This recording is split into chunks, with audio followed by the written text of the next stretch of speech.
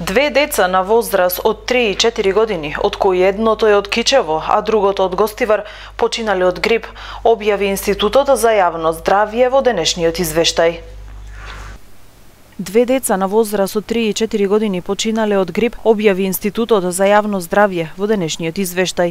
Едно од децата на возраст од 3 години било од Кичево, а другото на возраст од 4 години од Гостивар. И двете биле хоспитализирани на клиниката за детски болести Скопје на одделот за интензивна нега. Двете деца кои починале од грип на клиниката за детски болести биле донесени во многу тешка состојба, со воспаление на мозокот и грчеви, биле ставени на механичка вентилација, им била дадена антивирусна и антибиотска терапија, но сепак состојбата не им се подобрила. Двете деца, едното од гостивара, другото од Кичево, на возраст од 3 и 4 години, починале во првата недела на јануари, како што објавуваат од Институтот за јавно здравје, кај едното имало и пропратно заболување, церебрална парализа, додека другото немало некој хроничен здравствен проблем. Епидемиолошката анализа покажува дека двете деца имале симптоми на грип, многу висока температура, проследена со кашлица и знаци на белодробно зафаќање, биле однесени на матичен лекар и им била дадена антибиотска терапија. Грипот, иако ретко, сепак може да направи сериозни компликации, како што е воспаление на мозокот.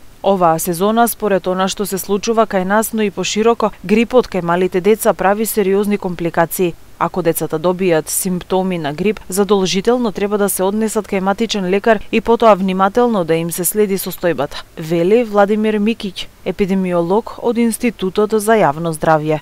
Според податоците со кои располага институтот, децата пред да бидат донесени на клиниката за детски болести не биле болнички лекувани, туку само кај матичен лекар. Кај едното дете грипот бил лабораториски потврден, додека кај другото не. Во текот на првата недела од 2017 година во Македонија пријавени се 8067 ново заболени лица на групни пријави за заболени од грип, што представува намалување од 14,9% во споредба со минатата недела, кога беа пријавени 9485 случаи. Вкупниот број на пријавени случаи и оваа недела ја надминува границата на многу висока активност согласно моделот за одредување интензитет на активноста на сезонски грип. И оваа недела, како и минатата, најголем број заболени се регистрирани на територијата на Скопје, а поголемиот број на случаи пријавени се во Струмица, Битола и Кавадарци.